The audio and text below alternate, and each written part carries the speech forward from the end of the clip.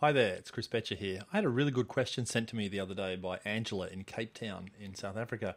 Um, and she was asking about the way we manage the domain naming in Google Sites because in Google Sites you can actually buy a domain name and apply it to the site, so you can just have a nice short one. So you can see on the site here, um, this is a Google site, uh, but I actually registered the domain www.summitstuff.com just because it's just easier to try and tell people where your resources are if you can give them a nice simple name like Summit Stuff instead of what it normally would be, which was sites.google.com slash site slash BetchaBoys Summit. So, and it just it's just easier.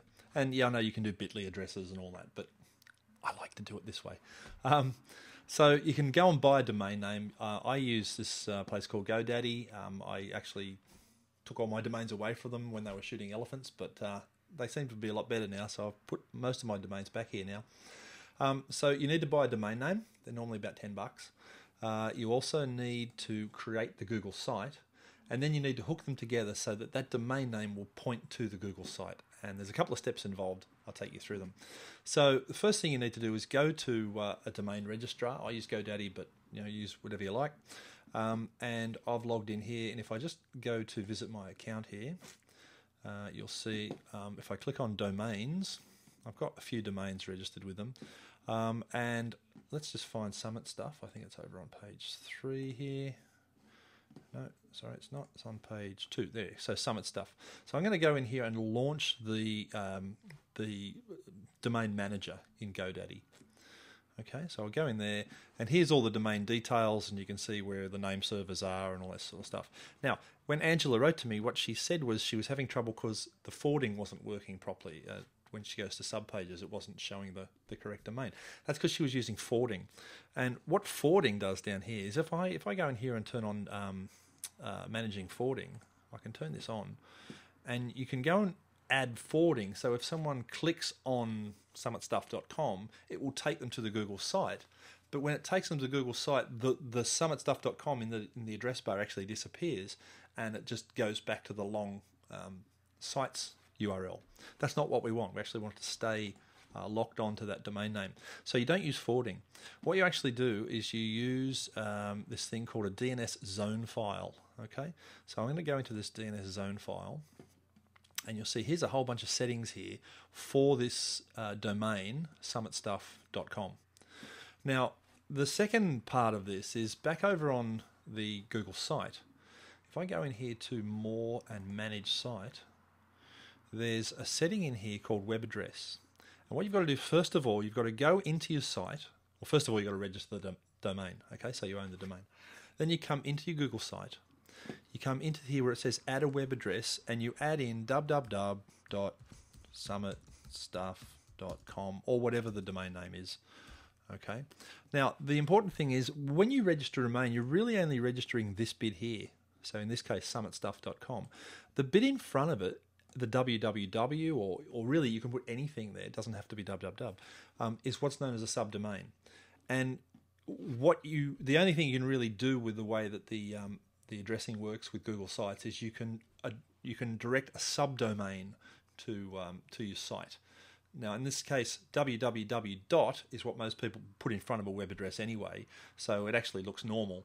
But you can put any word there. And the catch is if you don't put anything there, if you just go to a browser and type in summitstuff.com without the www, it actually won't work because it's looking for that subdomain in order to, to do its thing.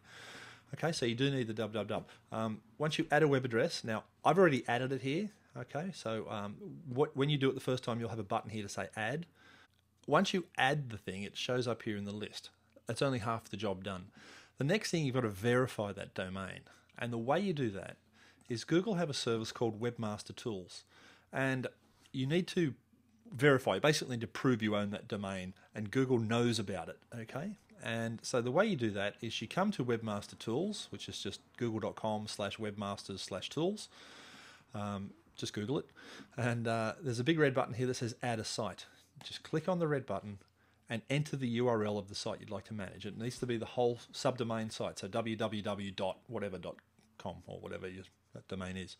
Okay, and once you do that, hit the continue button and it'll step you through the process. But what you actually end up with, if I just scroll down here a little bit, you should see here is the record, here is the, um, the verified domain, www.summitstuff.com. Okay, so once you've added the site in here, um, you've verified it, that's all good. Then what you do is you go back to GoDaddy, go to the DNS zone file page here in the settings, and scroll down, and you'll see there's this thing called a CNAME alias. And what you need to do is create the subdomain, which in this case is www, and you point it to this service called GHS, which I, I think stands for Google Homepage Services, um, .googlehosted.com. Okay, ghs.googlehosted.com. And uh, the way you do that, by the way, is you just, uh, once you're on the zone file page, you hit the edit button.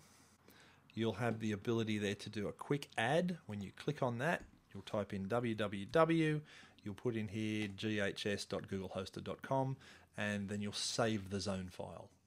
And what that does, and again, I'm not going to do it because I've already done it here, but but um, it saves that zone file.